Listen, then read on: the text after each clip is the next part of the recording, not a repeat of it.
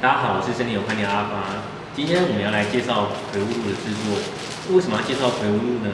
因为是这个是您可以在家中自行制作的农业之材。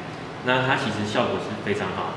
那最近呃荔枝春香呃很泛滥。那事实上有些农民呢是拿葵雾露去做个喷施在荔枝春香上，效果也是很好的。那所以呢，我们就是今天要来介绍您如何在家可以自行制作葵雾露这样子。那葵无露呢？它组成的东西很很基本。第一个，您只要准备一个呃优质的葵花油，加上一个可以清洁蔬果的。清洁液，这样就可以了。那有些人说，那除了葵花油之外，我可不可以用其他油？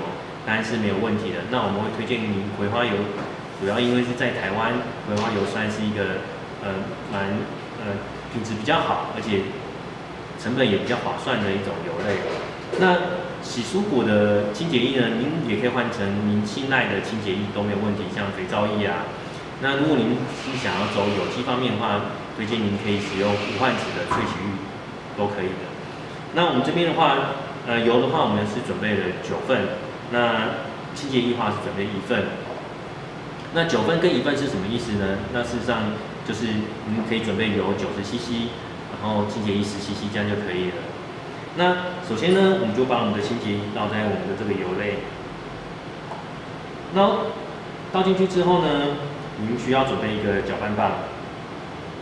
那搅拌棒呢，就是要让把这个油跟这个清洁液做个混合的动作。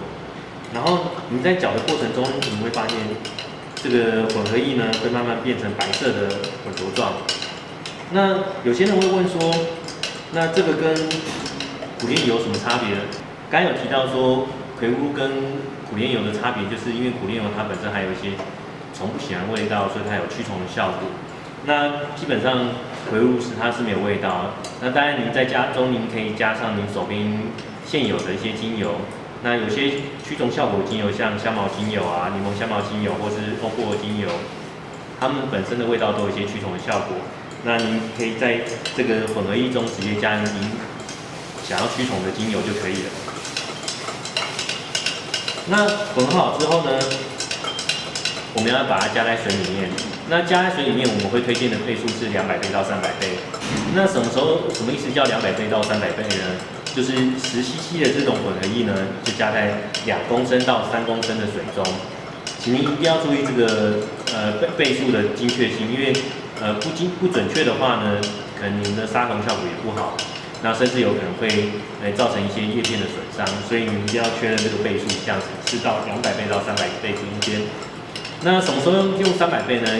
因为现在像像夏天天气比较热，然后太阳比较大的时候，我们会推推荐您稀释到三百倍，这样它稀释倍数较多，对叶片的杀伤力没那么强，但是也有杀虫的效果。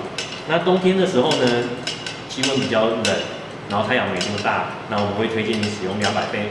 两百倍的话，它的包覆效果也比较好，杀虫的能力也会比较好。那呃，使用的频率呢，我们会推荐您呃四天呃，如果您发现有害虫的时候，四天一次连续试试。那如果您只是平常平常保养的话，一个礼拜喷一次就可以了。那搅拌完之后，就就像呃您看到这样子，它是会成一个白色的混合状，就表示您的混合的比例是对的，而且是有成功的。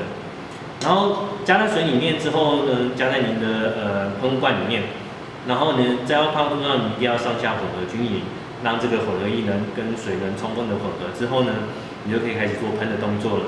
那喷的动作的时候呢，我们会建议你一定要全株喷洒，然后甚至您所有种植植物的植物都要呃的地方都要喷洒。那尽量呃尽量不要喷到。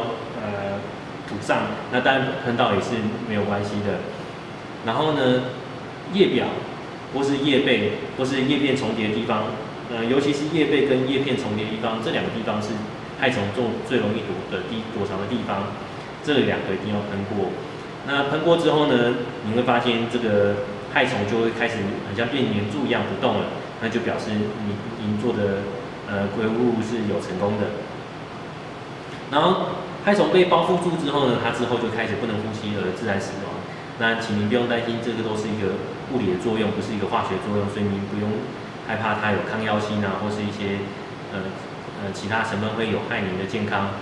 然后呢，有些生友会问说，那我喷完之后可不可以直接呃使用？答案是可以的，就像您呃用的呃洗蔬果清洁液一样，呃那那你在洗完之后呢，用清水呃冲洗过后就可以直接使用是一样的道理，所以这点请您放心。